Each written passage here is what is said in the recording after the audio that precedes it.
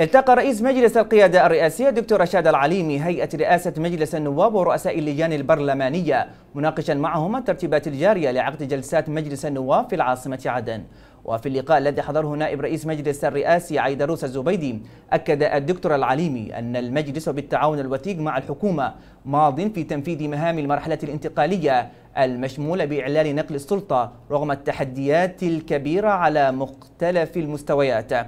وأشار ضمن هذه الإجراءات إلى توجيهات المجلس الحكومة بإعادة تشكيل اللجنة العليا للمناقصات والهيئة العليا للرقابة على المناقصات وتفعيل دورها في مختلف المحافظات والترتيبات الجارية لإعادة تشكيل الهيئة العليا لمكافحة الفساد والعمل على ترشيد الموارد وتنمية الإيرادات غير النفطية. ونوه الدكتور العليمي بالجهود المشتركة مع الحكومة والسلطات المحلية للحفاظ على استقرار نسبي للعملة الوطنية وأسعار السلع الأساسية وخدمة التوليد الكهربائي خصوصا في العاصمة عدن وتأمين مصادر بديلة لاستيراد الحبوب ضمن المساعي الحثيثة لتخفيف المعاناة الإنسانية في البلاد. مؤكدا أن الأولوية القصوى ستظل تعزيز أمن واستقرار العاصمة عدن والمحافظات المحررة بدءا بتشكيل اللجنة الأمنية والعسكرية لتوحيد القوات المسلحة وتكاملها تحت وزارتي الدفاع والداخلية إضافة إلى تشكيل اللجنة لتوحيد الأجهزة الاستخباراتية وتلك المعنية بمكافحة الإرهاب من أجل مواجهة التحديات المتزايدة على هذا الصعيد.